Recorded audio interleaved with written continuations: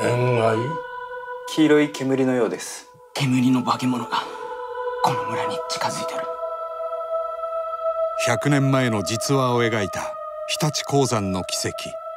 誠実に保証する気があるのですか？あります。必ず保証します。かかれ関根三郎君率いる青年会は手強いですよ。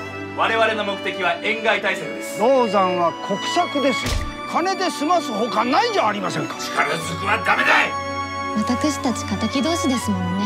仕事を泣かせるような会社は潰しても構わないと言ったのはどなたですか。ケアさん社長。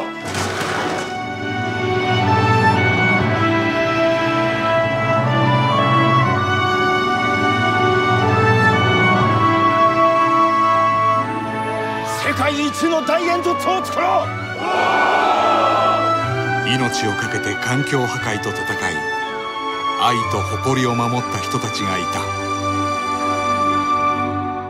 ある町の高い煙突。